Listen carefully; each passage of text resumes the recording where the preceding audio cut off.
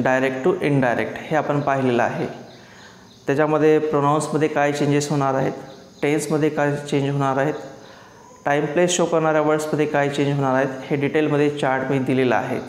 त्यानंतर assertive sentence change direct to indirect narration हे आपण स्टेप्स पाहिलेले आहेत. त्यामध्ये पहिली स्टेप अशी होती की रिपोर्टिंग व्हर्बमध्ये चेंज होता. रिपोर्टिंग व्हर्ब सेड असेल तर सेड किंवा सेड टू असेल तर टोल्ड घ्यायचं. देन यूज कंजक्शन आपण असर्टिव्ह सेंटेन्समध्ये दॅट हे कंजक्शन वापरतो. त्यानंतर प्रोनॉनमध्ये अप्रोप्रिएट चेंजेस टेन्समध्ये अप्रोप्रिएट चेंजेस आणि टाईम प्लेस दाखवणाऱ्या वर्ड्समध्ये अप्रोप्रिएट चेंजेस यावर आधारित आपण काही एक्झाम्पल्स पाहूत. असर्टिव्ह सेंटेन्स कशा पद्धतीनं आपण डायरेक्ट टू इनडायरेक्ट करू?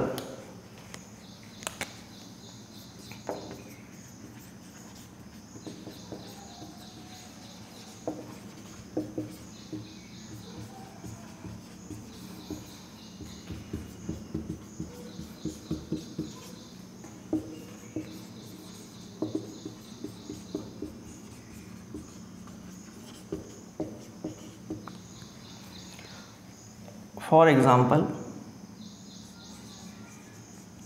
Ravi said to his friend,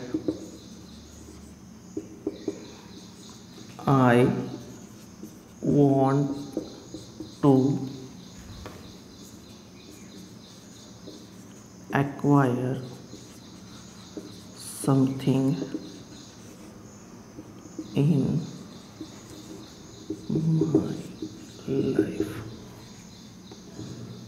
हे एक सेंटेन्स आहे. Ravi said to his friend I want to acquire something in my life याच्यामध्ये Ravi as a speaker reporting verb as a sender to friend as a receiver and I want to acquire something in my life this is the reporting speech this is the spoken part of this sentence आता याचा आपल्याला indirect नॅरेशमध्ये करायचं आहे. तर step number one reporting वर said said to said असेल तर सेड ठेवायचं सेड टू असेल तर टोल्ड घ्यायचं.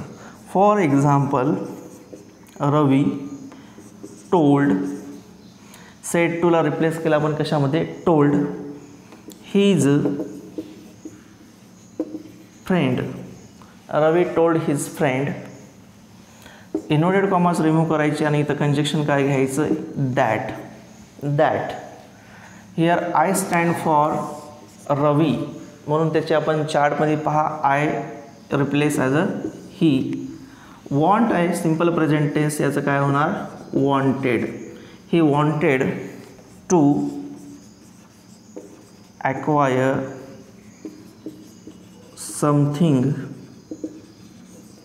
in my life आहे याचं काय होणार?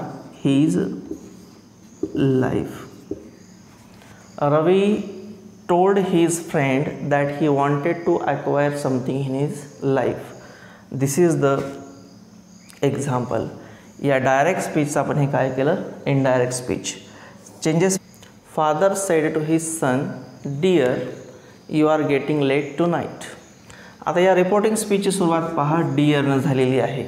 आपण नोटमध्ये दिलेलं आहे की रिपोर्टिंग स्पीच सुरुवात जर डिअर किंवा डिअरली अशा वर्ड्सनी होत असेल तर आपल्याला काय करायचं आहे? सेड टू च्याऐवजी आपण टोल्ड नाही घ्यायचा तर लव्हिंगली टोल्ड असं घ्यायचं आहे.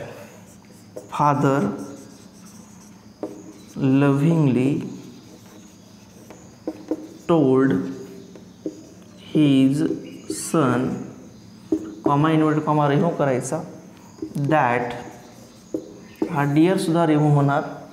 याच्या इन्स्टा आपण इथं लव्हिंगली यूज केलेला आहे. Father lovingly told his son that you stand for son so याचं काय होणार? ही आरचं होणार was he was getting late to नाईटचं काय होणार?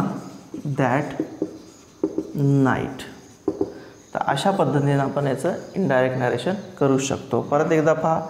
Father lovingly told. एक गोष्ट आहे. त्यानंतर ही सन हिअर इनोडेड पामा रिमूव्ह केली आणि इथं दॅड घेतला. इथं यू होता त्याचा चेंज काय झाला? He was getting late that night understand अशा पद्धतीनं आपण हे टॉपिक समजून घेऊ. थँक्यू व्हेरी मच माझं चॅनल सबस्क्राईब करा. हा व्हिडिओ आवडला असेल तर लाईक करा. आणि काही कमेंट असतील तर शेअर करा. Thank you very much